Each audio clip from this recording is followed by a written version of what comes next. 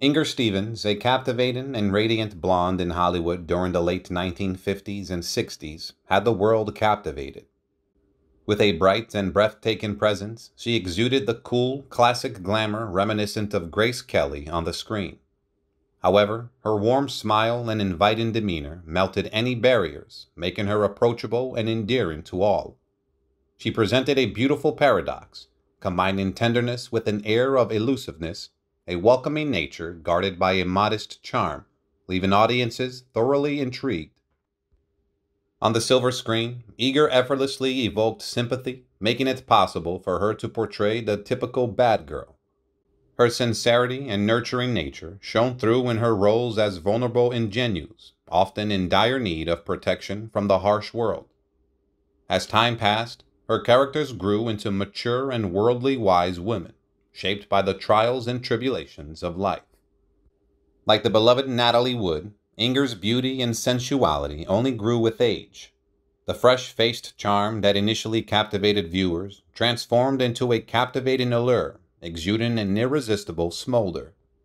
A turning point in her career came with a popular mid 1960s TV sitcom catapulting her to household fame. It seemed Inger's career was destined for even greater heights. In her final film, she delivered a poignant and emotionally charged performance, hinting at the possibility of an Oscar worthy recognition. In April of 1970, Inger found herself catching the attention of producer Aaron Spelling after starring alongside Burt Reynolds in the TV movie Run Simon Run.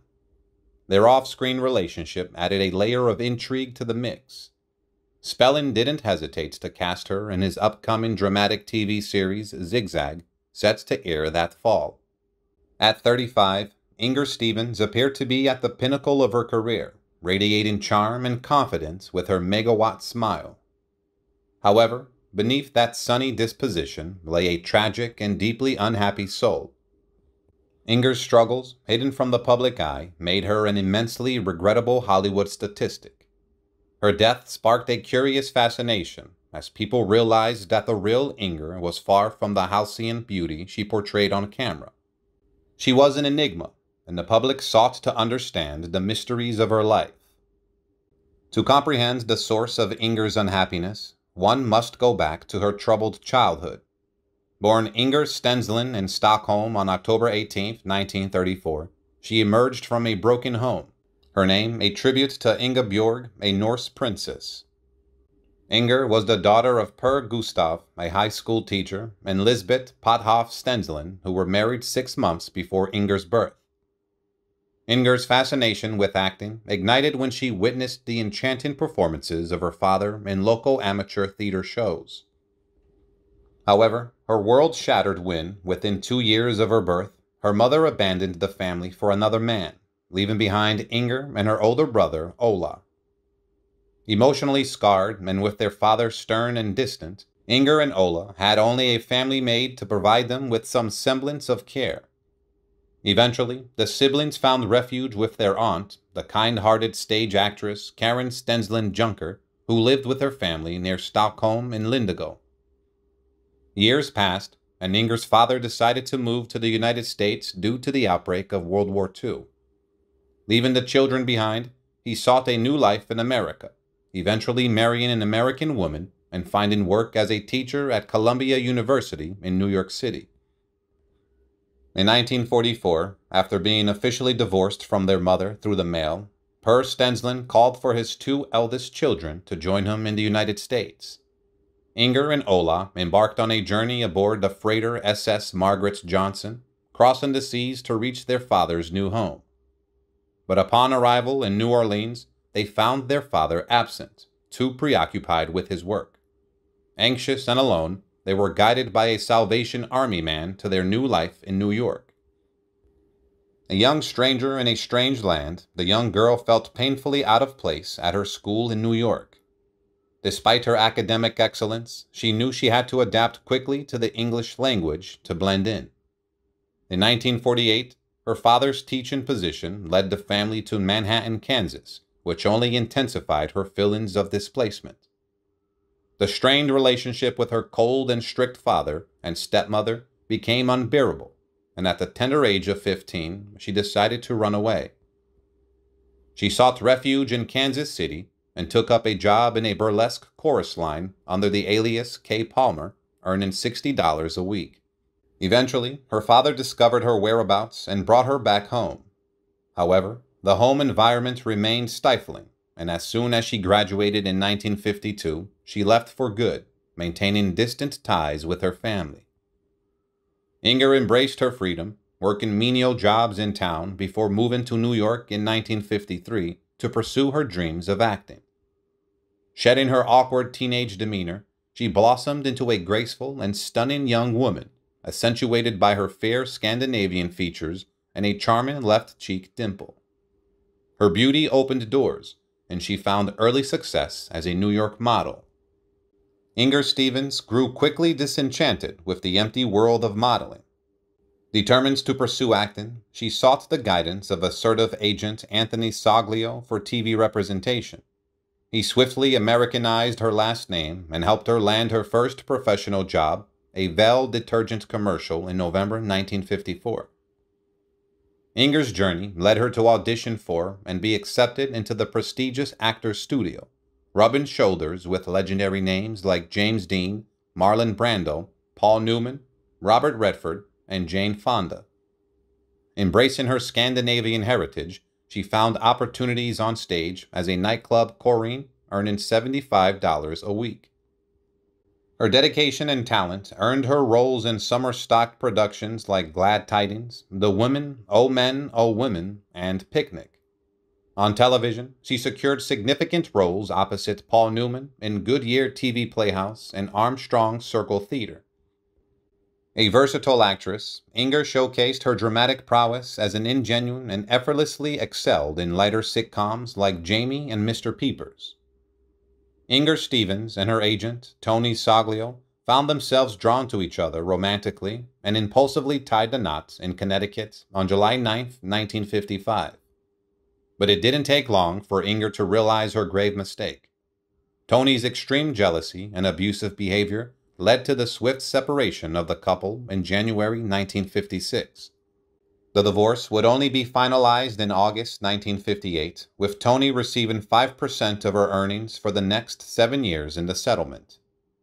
Undeterred by her struggles, Inger made her Broadway debut on February 22, 1956, as the leading lady in the comedy play Debut. While the play received mixed reviews, Inger's performance was widely acclaimed, except by New York Times critics Brooks Atkinson, who deemed her portrayal high strung, and aggressive. Unfortunately, the play closed after just five performances.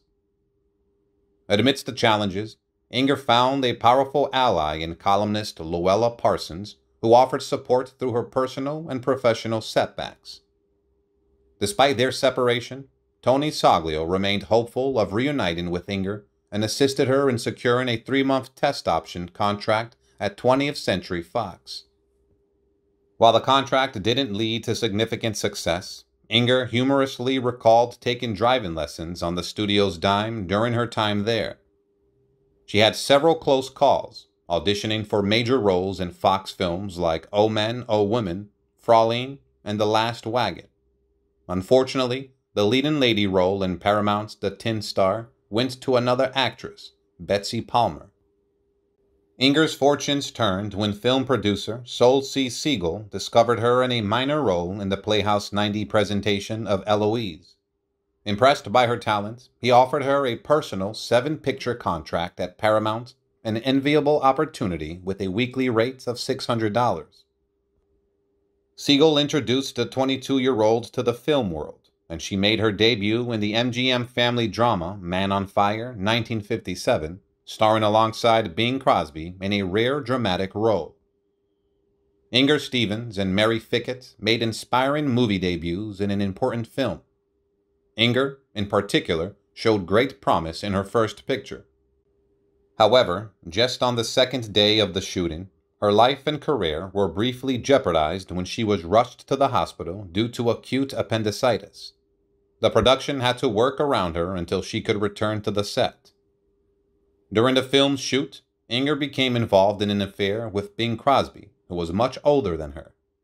Despite the challenges, her talent shone in her second loan out film, MGM's Cry Terror. Directed by Andrew L. Stone, the tense drama showcased Inger as the picture perfect wife and mother of James Mason's character. Although the plot was far fetched, Inger's performance became the emotional core of the film, nearly still in the spotlight. Amidst the intensity of the shoot, a subway chase scene involving Inger and Rod Steiger took a dangerous turn. Filmed in a railway tunnel in Hoboken, New Jersey, carbon monoxide fumes from a defective gasoline generator overcame the actors and crew, leading to hospitalization. Inger, in a critically ill state, required two days in an oxygen tent before making a recovery. Inger Stevens found herself starring in her third film, The Buccaneer, for her contract studio Paramount. This epic War of 1812 costume drama was a remake of Cecil B. DeMille's classic from 1938, featuring Anthony Quinn and Fredric March as pirate Jean Lafitte. Inger beautifully donned period costumes portraying Annette, the Louisiana governor's daughter, and Lafitte's paramour. However, Inger's personal life was taking a toll on her well-being. She became involved in yet another affair, this time with the married Harry Belafonte, the strain of her tumultuous relationships caught up with her, leading to a near fatal suicide attempt. Fortunately, a concerned friend discovered her in time and sought help. Recovering from the dark episode, Inger underwent a period of intense self examination, focusing on her career and returning to television with determination. Her return proved fruitful as she starred in memorable episodes, including the famous The Hitchhiker from The Twilight Zone in 1960, where she portrayed a young motorist stalked by a haunting hitchhiker. On TV, Inger also shared touching scenes with Dan Blocker on the first season of Bonanza and appeared in episodes of Route 66, Zane Grey Theater, and a second Twilight Zone installment. Inger Stevens encountered yet another life threatening experience during her European vacation in June 1961. After visiting her Swedish homeland, she traveled to Rome, Paris, and Lisbon. During her flight's landing in Lisbon, the plane bounced off the runway, its nose gear collapsed, and a fire erupted in the passenger cabin. Inger managed to exit the plane just before it exploded minutes later, narrowly escaping tragedy. Returning to the comedic stage, Inger's talent shone in a Chicago production of The Voice of the Turtle. She then took on the lead role in the New York hit Mary Mary, replacing Barbara Bel Geddes. Her performance earned her the best Broadway reviews of her career. Despite being the top draw of the show, Inger remained compassionate and thoughtful, forming strong bonds with the cast and crew. On television, Inger's popularity soared capturing the hearts of audiences. She became the beloved pitchwoman for Clairol's hair products on the show. It was a joyous and productive time for her, although the busy schedule offered little privacy. However, her film career faced challenges. After declining the female lead in the 1960 film Key Witness, a disagreement with Paramount led her to buy out her contract in an expensive settlement. Inger finally returns to the big screen after a five year absence, starring in Columbia's hospital drama The New Interns 1964. Yet, earlier on, she had faced disappointments, losing roles to Marilyn Monroe and Audrey Hepburn in The Misfits and Breakfast at Tiffany's, respectively. She and David Janssen, stars of The Farmer's Daughter and The Fugitive, respectively, won the TV Guide popularity poll as the favorite female and male performer of the year. The sitcom's success relied on the delightful chemistry between the two stars, with a relatively tame comedy approach. Audiences eagerly anticipated the romance between Katie and the congressman, keeping them glued to the show. As a famous TV star, Inger utilized her platform to raise awareness for various humanitarian causes. She sponsored art exhibitions to benefit special needs children, volunteered at health centers, and served as chairman of the California Council for Retarded Children, a cause close to her heart.